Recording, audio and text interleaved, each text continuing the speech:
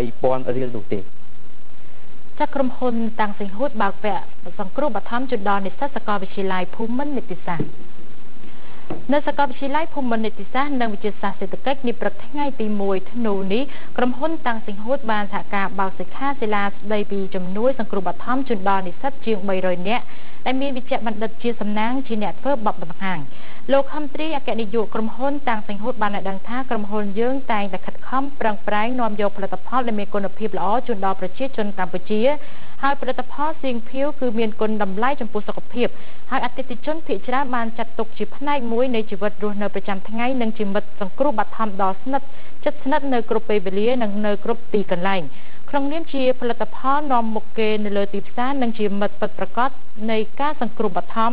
យើងបានប្រយុទ្ធផ្ដើមរៀបចំសិក្ខាសាលានៅថ្ងៃនេះឡើងដើម្បីចែករំលែកដល់សិក្ខាកាមទាំងអស់គ្នាមិនត្រឹមតែធ្វើឲ្យផលិតផលស៊ីងភៀវអាចជួយបានប៉ុណ្ណោះទេប៉ុន្តែក៏អាចជួយរំលែកចំណេះដឹងអំពីការសង្គ្រោះបឋមផងដែរ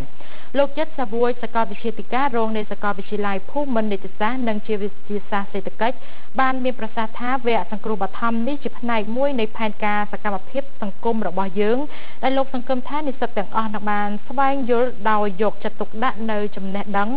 នៃវិធីសង្គ្រោះបឋមនិងចងចាំទុកដើម្បីប្រើប្រាស់នៅក្នុងស្ថានភាពជាក់ស្ដែង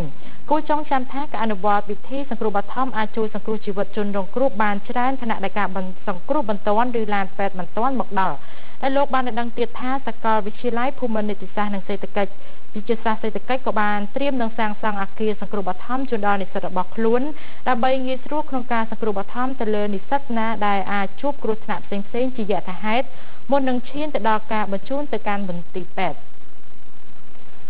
បាទអរគុណហើយយើងងាកទៅមើលកាកបាទក្រហមខណ្ឌរិទ្ធិកែវរួមជាមួយនឹងប្រសង់និងក្រុមយុវជនខណ្ឌគឺបាននាំចុកអំណោយទៅ